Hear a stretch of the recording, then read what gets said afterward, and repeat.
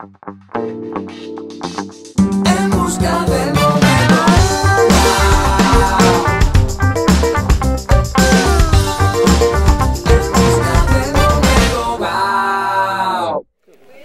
you doing? This is Casper Smart. Want to say hi to Wow La Revista.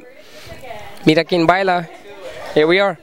We are finally here. Yes, we are. I feel excited. Um, it's over, so that was good because the excitement was, you know, the pressure was there, and it's, it's good that the first one is over, so we know what we're expecting and what we're dealing with now. But it feels great.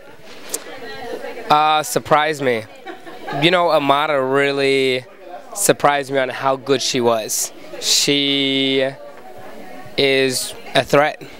She's she's a real threat to this competition. Yeah, absolutely. I got to see her do other things. I got to see everyone else do other things, but she was really good. Is it easy being a judge?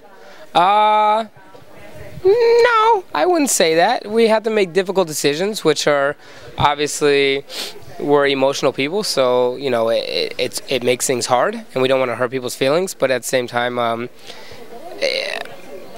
is it is it easy? No, because I got to watch. I got to really study what they're doing and and their lines and their feet and their hands and their energy and and you know everything that they're doing, so I can so I can pick it apart and write it down at the same time I'm watching. You know, in the minute performance.